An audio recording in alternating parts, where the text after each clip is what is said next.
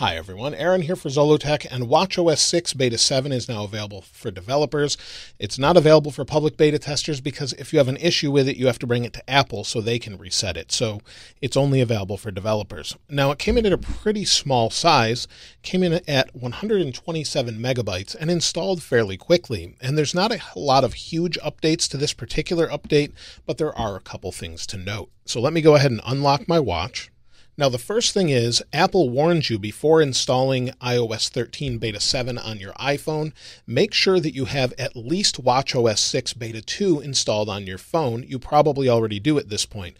But if you don't, there could be a serious issue where you won't be able to pair your phone with your watch. So make sure you're on WatchOS Beta 2 first before updating to iOS 13 Beta 7 then you'll be able to pair and shouldn't have an issue. So that's just something to note that they want you to know about. It was in big red letters in the notes. Now there is one new change, and if we go to our apps, I have them in the list view here so you can see it a little easier.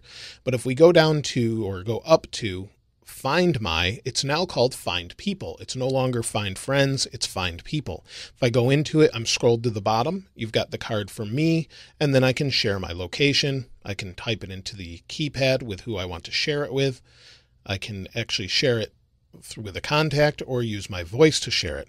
And that's just a renaming of that app. So it's now Find People. Now, there are a couple bug fixes and known issues. So there are seven known issues in this particular update. So not that many compared to iOS. And there's also seven resolved issues. And other than some background changes for developers, there's a few things to note. Apps are correctly installed now in the background when you unpair your watch from a phone, and then if you pair it again, you no longer have errors that might display. They actually say display erroneous alerts, but there's no longer errors that will display if you repair it. And then also, one thing they've fixed has to do with audio playback. Now, there's another thing they have not fixed with audio playback, but audio playback on your paired phone won't pause while receiving notification alerts on your watch. So, if you're using your watch and you're listening to music on your phone, it won't pause your music when you get a notification alert on the watch itself. So that part's really nice. Now, another thing they've fixed has to do with dictation. It no longer remains enabled after disabling it in settings. Before this was an issue, so if you go to settings, go to general, and then scroll down to dictation, if you actually turn dictation off, it will remain off. Before it might not turn off and it will still work. Now it actually turns off if you turn it off. So that's good. They've fixed that. They've also made it or fixed rather, if you turn on do not disturb here, it actually enables it or disables it on your phone. So if I go to my phone and then we'll go to the control center and you'll see I have do not disturb enabled. If I turn it off on my phone, it turns off on the watch. Turn it on on my phone, it turns on on the watch.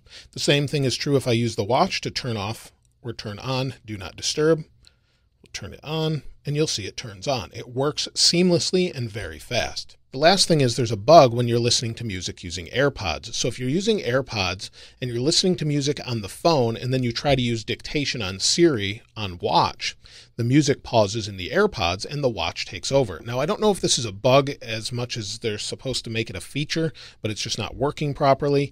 Hopefully, this gets fixed in the future, but right now, that's still an issue. So that's really all there is in this particular update. One minor change, some bug fixes, and battery life hopefully is pretty good. Right now it's draining quite fast because I have the screen on making this video. It's been off the charger for about a half hour, but in general, in the past day or so, it will get me through a day. I would expect it to improve greatly though once it's actually available for the public. So give it a few more builds, it should be good. And I would say this is more stable than iOS at this point. So it seems to be pretty good, except for those couple things I mentioned. And that's really it. So let me know what you think in the comments below, how it's performing for you on, on the Series 4 Apple Watch. It's quite fast, no slowdowns, nothing like that.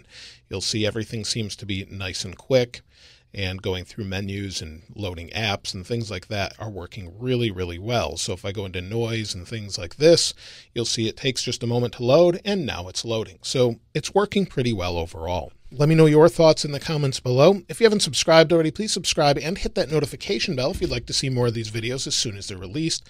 Of course, I'll link this wallpaper in the description for you as well. If you enjoyed the video, please give it a like. As always, thanks for watching. This is Aaron. I'll see you next time.